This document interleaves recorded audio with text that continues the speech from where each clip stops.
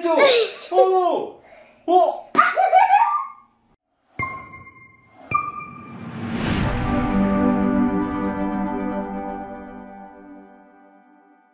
Pauza. Ha, stani. Ne pomjeraj se, ne zanima me ništa. A? Ne boj se, neće ništa, a? Hoću, neću, a? A?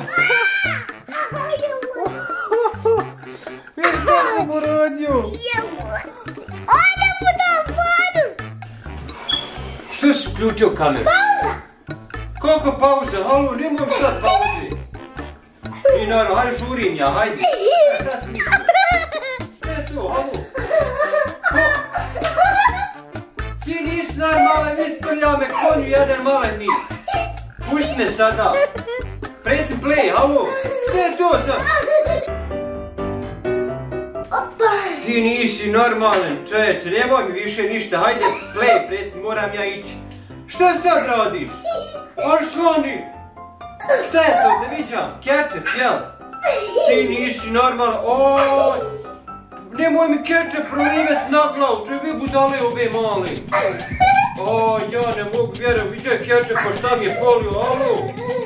Gdje, kad play, kad presniješ, ubit te ja, samo da znaš. Ja ne mogu vjerovat. O, vidiš šta mi, jesam završio? Jel to to? Ima još! Ma šta ima još, halo? Šta je to? Halo? O!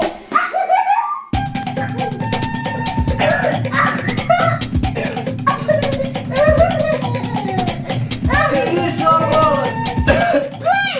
Pići tek play, dole zvam. Dole zvam, konju jedan malen. Šta si uradio ovo?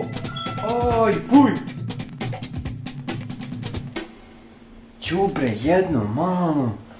Ja ne mogu vjerovati šta mi to dijete uradilo. Ljudi, pretplatite se na kanal ako nećete da ja ubijem tog malog.